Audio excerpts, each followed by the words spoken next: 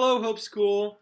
I'm Mr. Burns, and I want to take a moment to let you know that I'm working on putting together some really cool videos and activities about science that I'll be sharing with you. One of the cool things about science is that even if you're staying at home, there's still a lot to explore and to learn if we can think like scientists. Stay tuned for more science exploration.